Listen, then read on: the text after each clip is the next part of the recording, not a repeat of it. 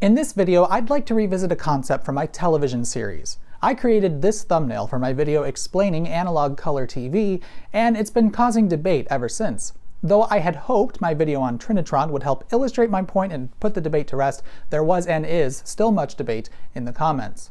It seems this debate comes mostly from semantics, and I'll admit I see a gap in my explanation.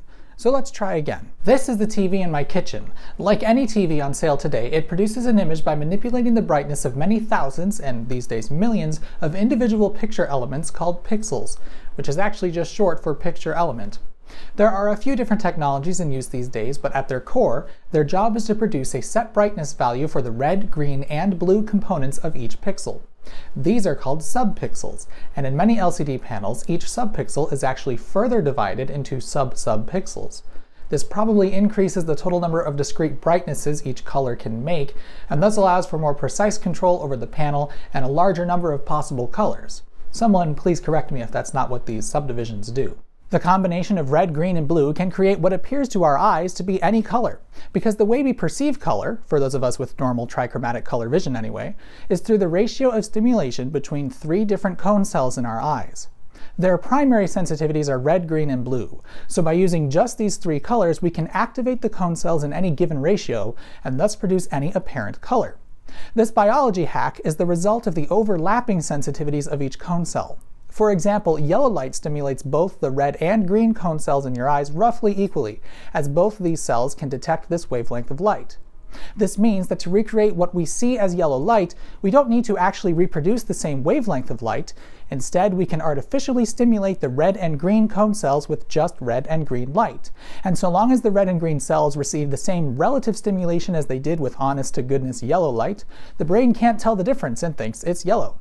Simply outputting red, green, and blue light can produce any color to our eyes because when combined it can produce the same ratios of stimulation between the three cone cells that any real color would. Anyway, the microprocessors inside this television are working together to make it all happen, and the main image processor can tell the panel exactly what to do. The image on screen is coming from a Chromecast, and through the HDMI port on the television, the Chromecast can tell exactly what each pixel needs to do to make this image and the drivers inside the TV will make that happen. We can define the resolution of this display by counting how many pixels there are along each edge. I'd rather not actually do that, so I'll just recite the specs here and tell you that there are 1,366 pixels along the bottom and 768 pixels along the sides. Yes, I know that's not 720p, but that's the panel that's in here, and that means there are 1,049,088 pixels on this screen. Generally, resolution is defined as x by y, so we'd say this panel has a resolution of 1366 by 768. Now take a look at an old school CRT television. Get nice and close to it and you'll find what appear to be pixels. There's a neat division between red, green, and blue, the borders are defined, and it's forming a grid. Almost. But you would be running a fool's errand if you attempted to count the number of these pixels along the edges to determine this TV's resolution. That's because these aren't pixels and they don't define its absolute resolution. To understand why, you need to look at a black and white television. Oh, how convenient, a black and white television. Now, with the set turned off, you can't see any structure to this screen. Going back to the LCD TV, even when it's off, that grid of pixels is still there. You need to shine a bright light onto it to see them, but the pixels are there as physical parts of the screen. But on this little CRT, there's no grid to be seen. Let's switch it on. With an image now on screen, you should be able to see a series of lines. In analog video, this is how the image is drawn. See, the CRT only has one pixel to deal with. At the rear of the picture tube is an electron gun which is projecting a single point of light at the screen. Then, electromagnets in the deflection yoke move this point around the screen very rapidly in a pattern called a raster. By varying the brightness of the point of light as it moves around the screen, an image can be made. The image is drawn as a series of stacked horizontal lines. In the US, roughly 480 lines are visible on the screen at once, drawn as two fields of 240 lines 60 times per second as interlaced video. This is why standard definition is defined as 480i here in the States. I've made a video explaining how analog television works in greater detail, which you can find up above now or down below later. Now this TV has no idea what it's doing. It doesn't have a microprocessor, it doesn't have an HDMI port, it doesn't have any digital circuitry of any kind. All it's doing is looking for two pulses in the video signal, the horizontal blanking interval and the vertical blanking interval, in order to draw the image in the same place on the screen and not have it roll around like this. The nature of this signal is analog, and really all the signal does is tell the TV how bright to make the image. It's just timed really, really well so that each individual part of the screen is drawn with the correct brightness, as the position of the point of light is determined by the length of time that has elapsed from the start of the frame. And to be clear, we're dealing with tiny fractions of a second, since the beam moves incredibly quickly. So then, here's the challenge. Where are the pixels? Well, there aren't any. If I change the channel and we look at snow, you'll see that there is no regularity whatsoever in this noise. If this image was defined by a grid of discrete picture elements, the borders between white and black sections should form columns of some sort, or at the very least there should be some clear vertical structure. But there isn't. They appear completely randomly within the line. I can tell you exactly where the line is, but I can't define any separation within the line itself. That's completely arbitrary. Now here's where the color CRT comes into play, specifically one like this. This is a GE television using a slot mask CRT. Up close, it appears to have a similar grid structure to the LCD TV in my kitchen. So then why aren't these pixels? They're what make up the image, right? Well, no, they aren't. These are actually called phosphor dots. What they do is create specific targets for the red, green, and blue electron beams to hit. See, to make a color image, we need to make a red, green, and blue image, and they need to be merged together somehow to appear as one. In the early days of color TV, there were all sorts of ideas being explored on how to produce an RGB image. I'll throw another card up on my playlist on television, because if this is the sort of thing that interests you, you can take quite the nerdy deep dive. A color CRT is functionally identical to a black and white CRT, but it draws three separate images at once. Think of it like three picture tubes, one red, one green, and one blue, combined into a single picture tube. This combined tube has an electron gun for each color, but of course we also need a way to separate the colors in order to drive each one on its own. That's what the phosphor dots do. They separate the face of the tube into a mosaic of red, green, and blue dots. The earliest color TVs used a pattern of phosphor dots that looked like this. These dots line up with a simple metal sheet just behind them. Let me show you what it does. Here I have a green flashlight. If I shine it at this poster board, it creates a flood of green light. But if I place a mask in front of it with a single hole, now the light can only make it through in a straight line between the flashlight and the hole, which produces just a dot on the poster board. Now here's a red flashlight. Watch what happens when I put it next to the green flashlight. Because the red flashlight is in a slightly different position from the green one, the light it makes can't take the same path as the green light. It will go through the hole at a different angle, so the dot it produces appears next to the green one. Now if I add a third blue flashlight and put it in between the red and the green just above them, a blue dot appears below the red and green dots. If I take the mask away, it creates just a wash of white light, but with the mask in place it produces three small dots of light in the same arrangement as the flashlights themselves, though it's mirrored and upside down. If I add a second hole to the mask, the same pattern appears right next to the first set of dots.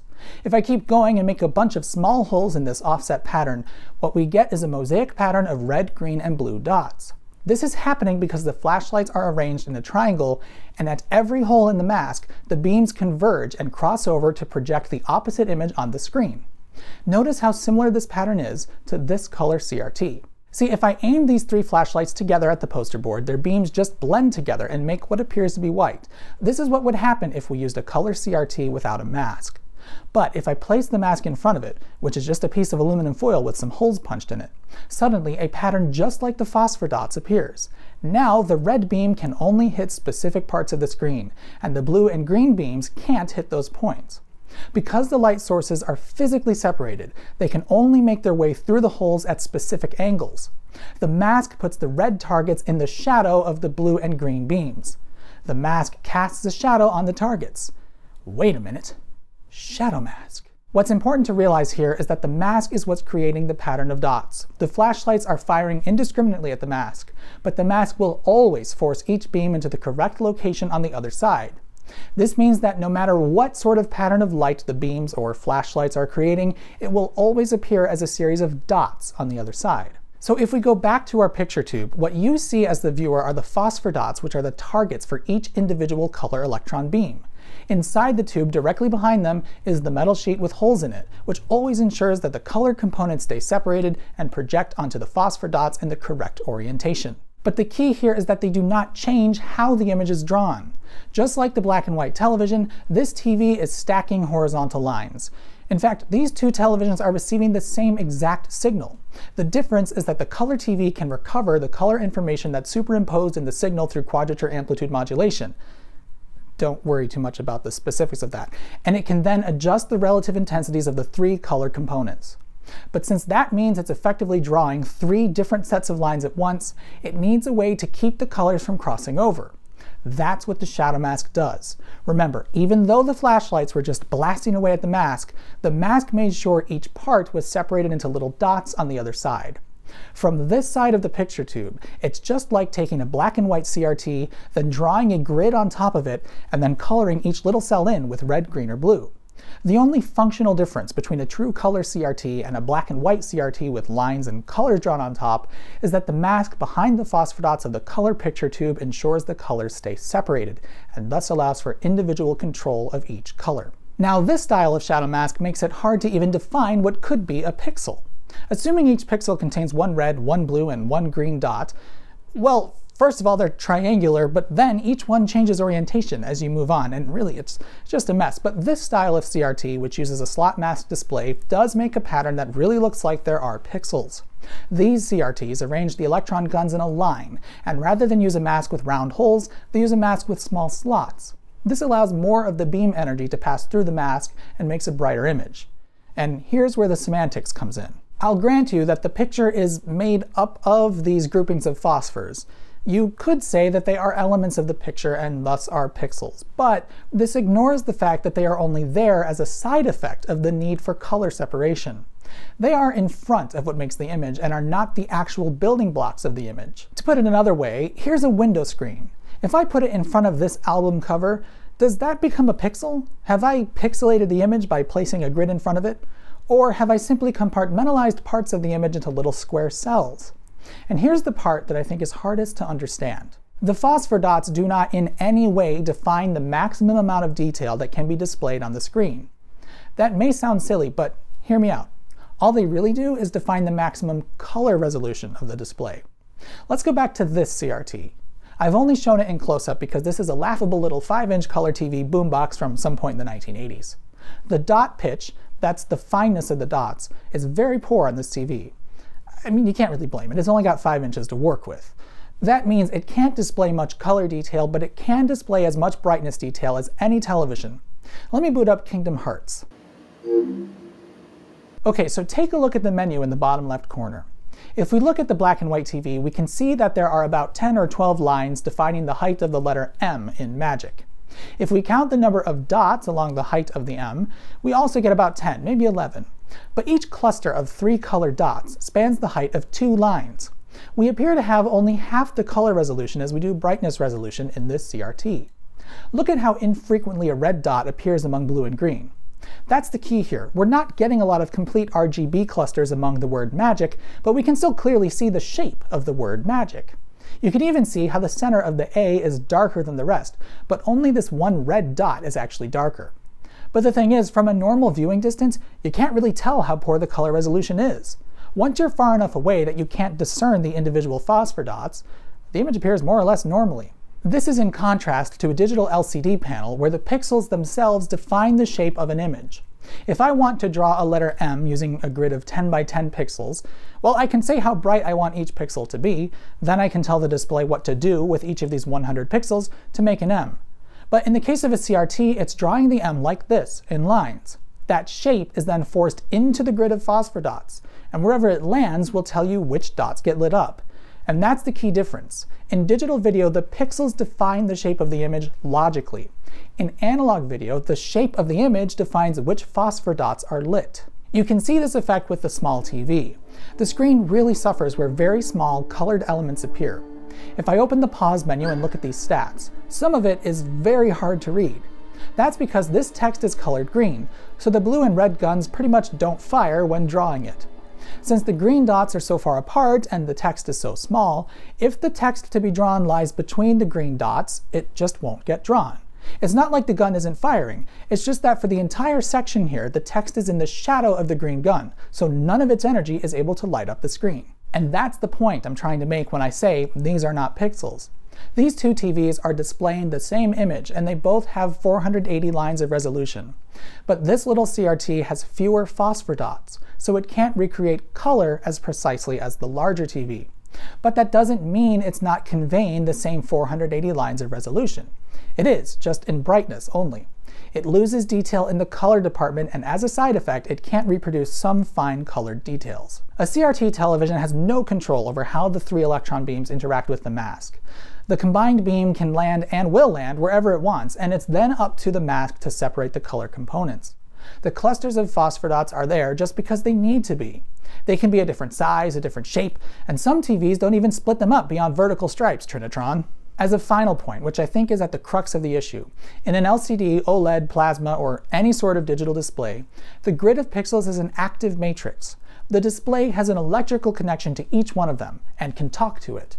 The shadow mask and phosphor dots are passive components of the CRT. They don't get addressed, they don't have an electrical connection, they're just there. Sure, the TV does control which ones get lit up, but it's not done with logical control or any precision whatsoever. Just like the black and white CRT, wherever the beam lands is what part gets lit up. Now this isn't to say that an analog TV can't produce an image made of pixels. Surely it can, it's just making small squares. And in fact, that's what it's been doing throughout all this video. A PlayStation 2 DVD player, Roku box, or any digital source with a composite output will take its logical 640 by 480 digital grid and convert that to the 480 horizontal lines to drive the TV. But I guarantee you those ethereal pixels in the logic circuits of the digital source won't be lining up nicely with these phosphor dots. They simply don't need to. Thanks for watching, I hope you enjoyed the video. If this is your first time coming across the channel and you liked what you saw, please consider subscribing. As always, thank you to everyone who supports this channel on Patreon. If you're interested in making a voluntary contribution to the channel as well, please check out my Patreon page. There's a link on your screen, or you can find one down below in the description. Thanks for your consideration, and I'll see you next time.